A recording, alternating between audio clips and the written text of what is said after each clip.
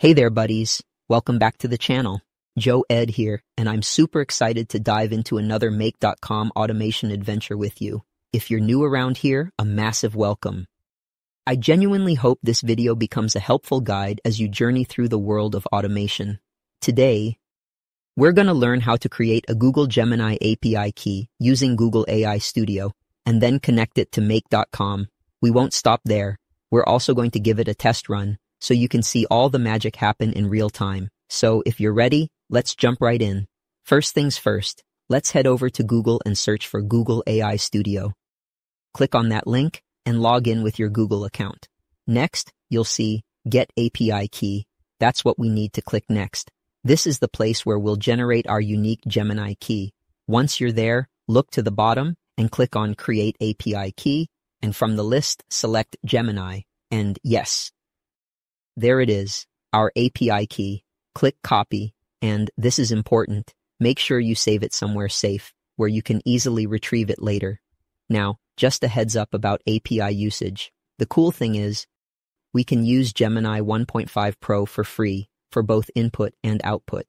There are some limitations naturally, so if you have larger projects that require a lot more requests per minute, then you might want to explore their pay-as-you-go plans. Okay, let's switch gears and head on over to Make.com and get our newly generated Gemini API key connected. Let's kick off by creating a brand new scenario and then let's search for Gemini. Select the Gemini module and then choose Create a Completion. Next up, click Create a Connection. I'm going to name my connection Gemini. You can name yours whatever you want. And I'll then paste the API key we copied from Google AI Studio and hit Save. Perfect. Our API is now connected. Let's put it to the test. I'm going to select a model.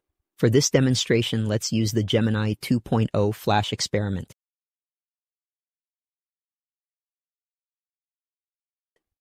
Under Messages, click on Add Item and set the role as User.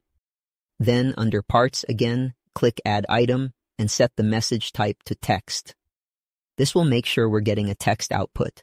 Below that, you'll see a text box, and this is where you'll write your prompt.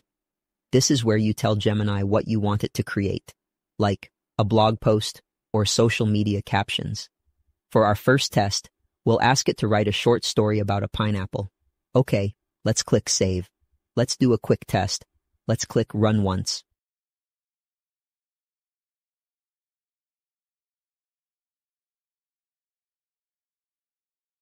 Awesome, it's all green.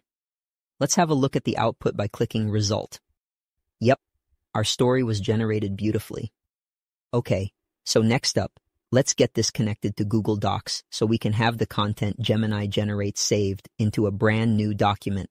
Let's click the plus icon to add a new module, search for Google Docs, and then select Create a Document. Next up, click on Create a Connection. You can rename this connection, but honestly, it's totally optional. I always like my module names to be nice and short. Okay, next up, we'll sign in with Google. Select your Google account and keep moving.